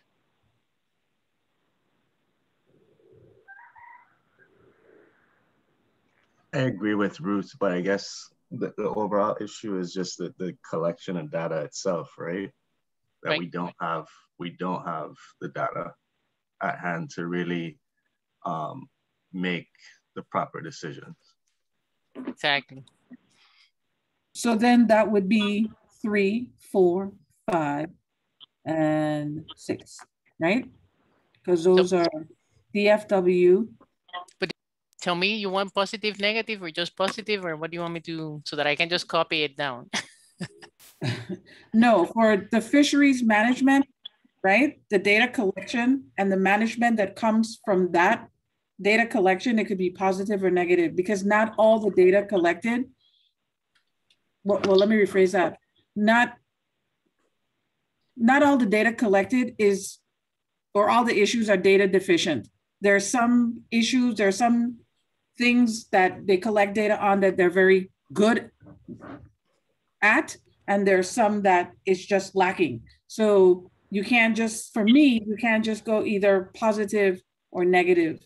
Um, it's not just like a one-shot thing. So, you know, yeah, they need more biostatistical sampling um, for the commercial.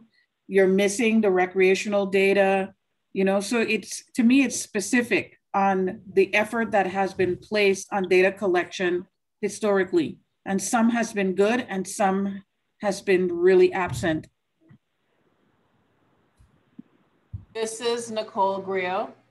Uh, for the data collection and fishery management, data collection in a whole in itself is a positive thing.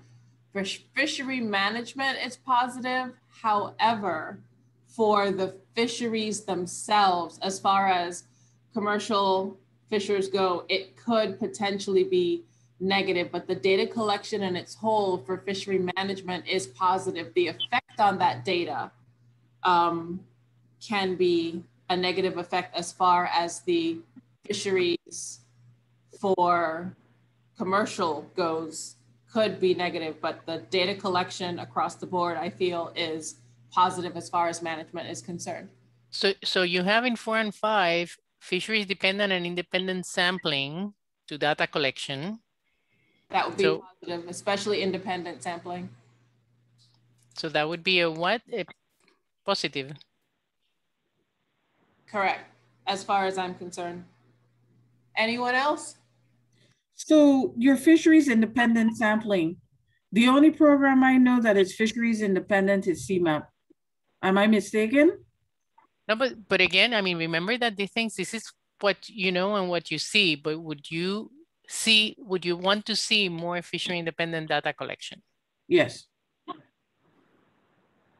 Would you like that to come from the DPNR, from the University of the Virgin Islands, etc.? So these, you know, you can conceive these as positive, right?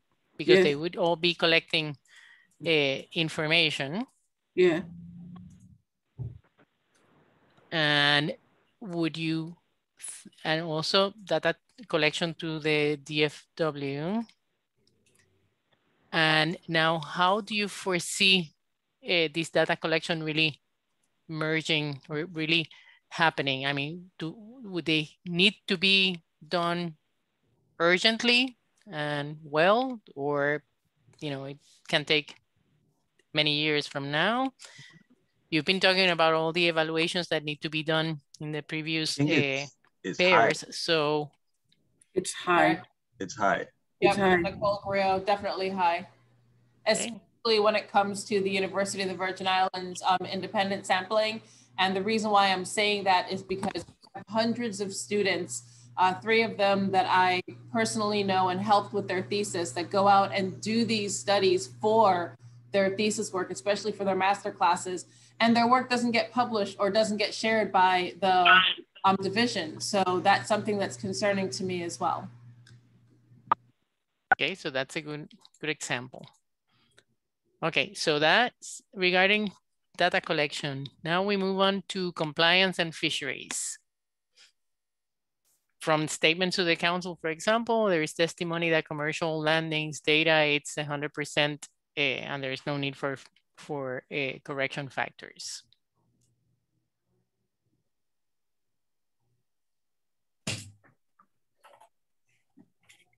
So compliance is a positive impact on fisheries. Yes. yes or no? Yes, yes. Correct, yes. Okay, and the magnitude? Hi. Okay, and then I'll High, find definitely. the eights later. So habitat to fisheries.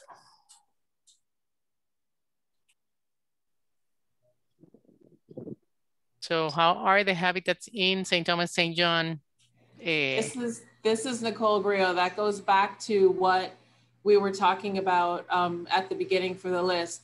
It's positive, but just barely hanging on.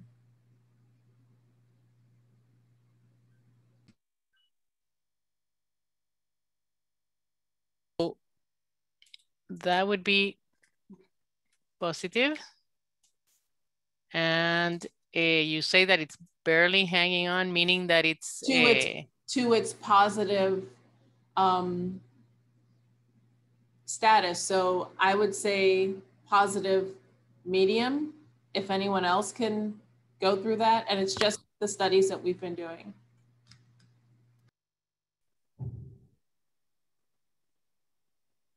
So again, you, you're making a general statement regarding habitats and you already had a discussion on the inshore versus the offshore, etc. So that's all being taken into consideration. In this case, it has to do with the regulatory agencies with your, or at least what you had in mind at the time of, you know, who are the people that deal with the habitat issues and are they doing what they're supposed to be doing, etc. So if habitat is a driving component and it's affecting your fisheries, it's affecting them if they're healthy in a positive manner. And it's then the rating is correct, positive medium. Okay. So hearing no more comments, harvest prohibitions and fisheries. Again, remember that you've talked about the lack of evaluations, etc., but your knowledge from your uh, harvest uh, history and from the uh, uh, being out at sea all the time, etc., have the harvest prohibitions been a positive impact on fisheries? Fishers, I'm gonna say yes. This is positive. Mr. Gilbert. And going back to the scoring, I would, I would say positive also. and have they had a great impact on the fisheries or has they been medium? You've discussed the lack of evaluation, so that's a problem.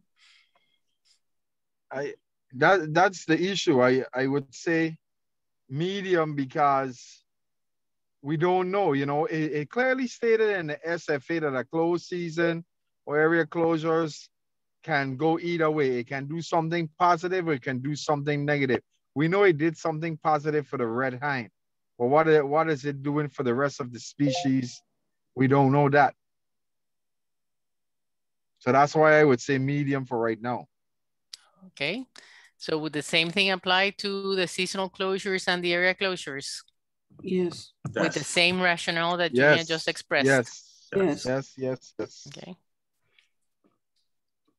How about the uh, eh, the trap fishery? You have a mesh size uh, regulations. You have a reduction program in place. You have escape vents, etc.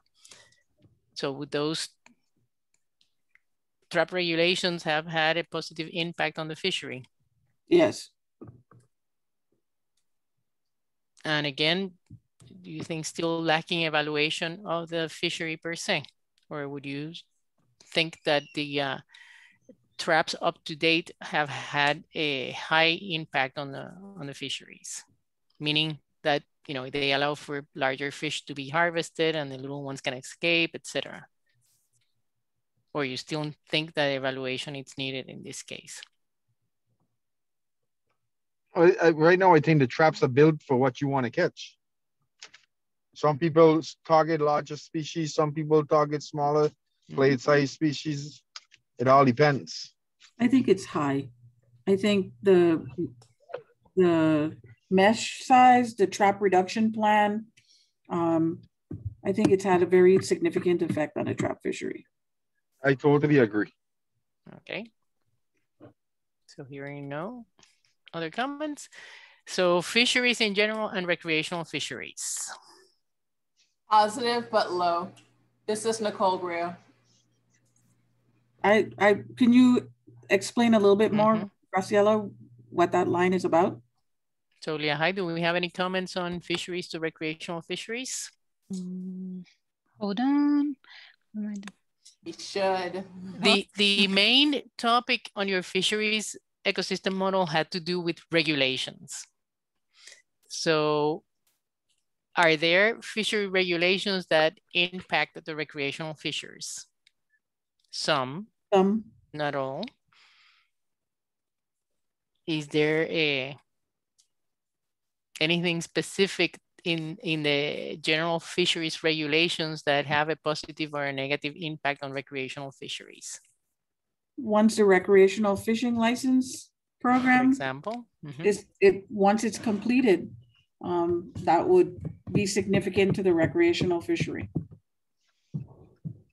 So in this case, this low would be medium now because in fact you can already get a, a recreational fishing license through the internet. Yeah, but you're not, there's, you're not, there's no official program and Okay. there is no enforcement as far as compliance when it comes to the submission of data. So it's pretty much, you know, um, you know, up to the person desire, the level, you know, that they want to be compliant.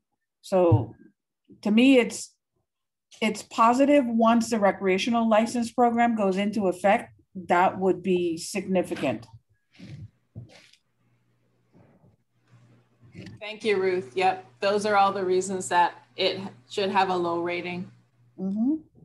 Okay. So, and Liajay, if there is anything that you need to mention when we go down this list, because we have eight more minutes here, market yeah. to commercial fisheries.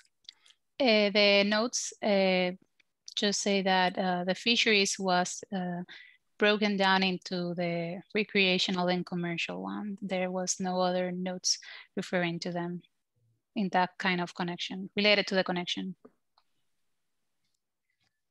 Okay. So what she's saying is that you have these things uh, doubled, basically, hook and line to commercial fishers, hook and line to recreational fishers as a separate uh, unit. Correct. We still think that this should be divided among the two.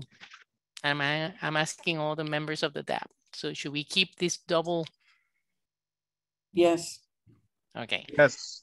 Having said that, how do you see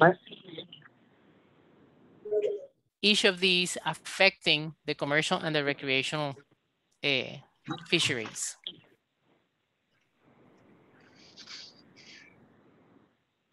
And I don't think we have much more on the comments that you had been uh, making from the standpoint of the fisheries regulations, right? So there are no specific regulations regarding hook and mm-hmm. line, correct? Correct.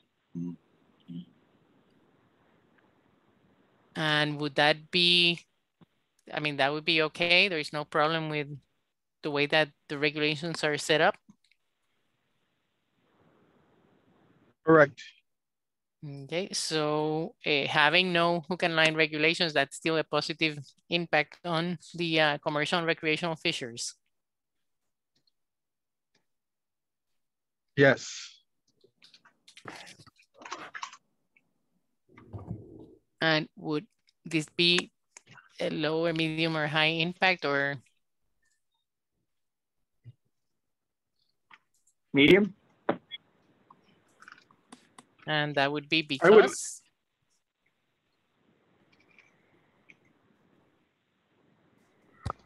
Why would it be a medium impact?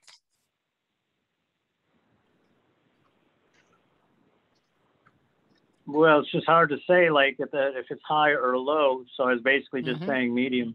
Okay, Yeah, I think medium would, would give you the, the, the room for clarification here coming up in the near future. So okay. And this would be the same for uh, recreational fisheries also, right? Yeah. I believe so, correct? high and low. Yes, I. Julian, we're missing you. Is he back? Hello? Uh, I think we lost Julian. So I have a question for the group. I mean, we we do have the regulations that apply to net diving, lobster, pelagics, etc.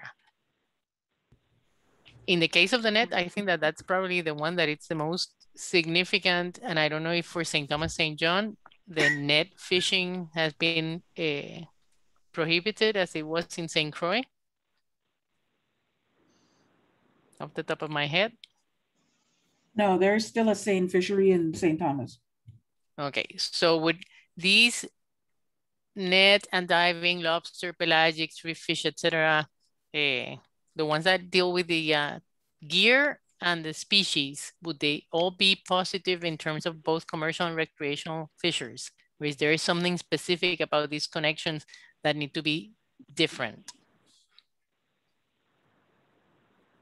I I'm don't just- believe so. Okay, so if we go positive all the way to bait and medium all the way to and I need to talk to you about this last we have three left.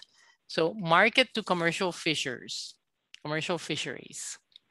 So one thing that fishers have always said is that the the uh, the market, it's really what drives the fisheries in the, the commercial fisheries in, in St. Thomas. Correct. Correct. So your market would have a positive impact on commercial fisheries because they would be targeting what's going to go to the market, correct? Yes, they would be positive and high. And high, okay? Muy bien. And the last two, tourism to recreational fisheries and tourism to market. Let's, let's go back to bait. Can we go back to bait? Uh, certainly, yes. So here's bait. Do recreational fishers uh, buy the bait from the commercials or do they also go out to get their own bait? A lot of times They they, go out also to get go their to own bait. get their own bait. Actually, actually, the Julian, you need to fishers move- impacting the, debate more than the Um, Colin Butler for the record. Um, recreational fisheries do buy bait from the commercial guys, like Ballyhoo, for example. But I also think the uh, recreational fisheries that do catch their own bait um, has a negative effect on some of the commercial guys that uh, rely on the same bait to uh, to fish. Um, Ah, okay. reason being, reason being is uh, there's a lot of recreational boats that fish all day long, seven days a week, sometimes twice a day, and uh, it's just um, particularly sprat. It's uh, it's it's taken uh, it's, it's taken a beating, especially since this pandemic, because there's a lot of fishing going on right now as far as in the uh, the charter industry. It got a good break in the beginning of the in the in the beginning of the pandemic, but right now it's uh, it's getting hammered. I agree with al- Colin. I agree with Colin when it's specific So- to the sprat for sure. There's also a negative effect when it comes to the net fishery because like Colin said, the net guys go after the same bait that the recreational guys go after. And sometimes, you know, it doesn't always work well. Okay, so you're asking me to change that to negative for the recreational fisheries only. I would say yes, change it to negative. Okay, And you can put it a medium. I don't know how you guys feel about that. I agree with that. Colin Butler for the record. I agree. Okay, so tourism has a positive impact on recreational fisheries. Yes. Yes, And that's a high. that's a high. That's a given. And I would think that the same thing for market. Yeah. Positive, Yes. high. Oh, yes. Yeah. Yes. Okay.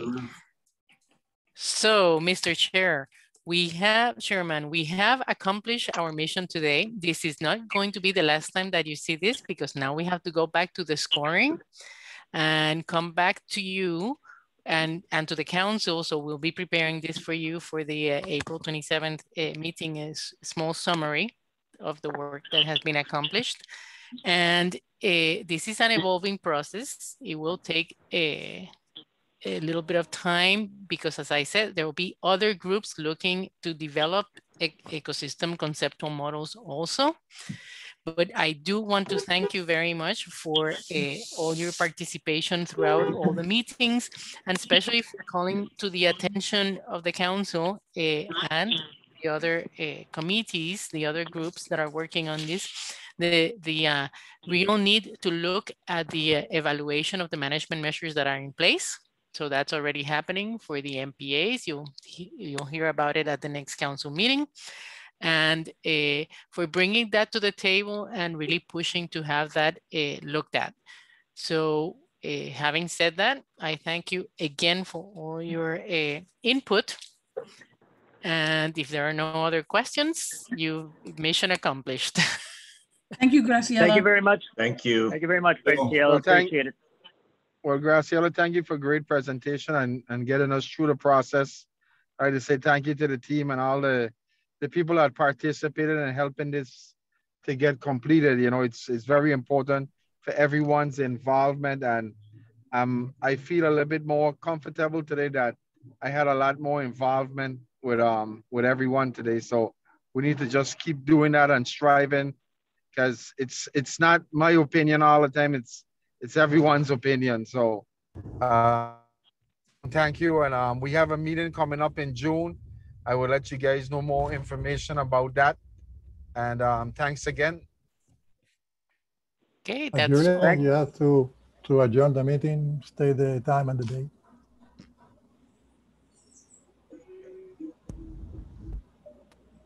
Julian. Yeah, I lost. I, I the phone.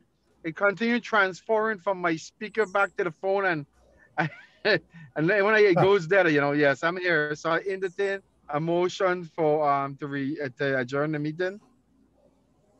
I second the motion. Lance Mon for the record. I need a motion. You only need a motion, you need a second, just motion to adjourn. Yeah, just need a motion. Uh, uh, Lance Mon for the record. Uh, I agree. Adjournment. All right, thank you all again. So it's Thanks, Miguel. 1204. Thank you very much, Well, Julian, for all the work. Twelve oh four meeting adjourned. Okay. Thank you. Thanks, guys. Thanks, Miguel and Graciela. Thank you.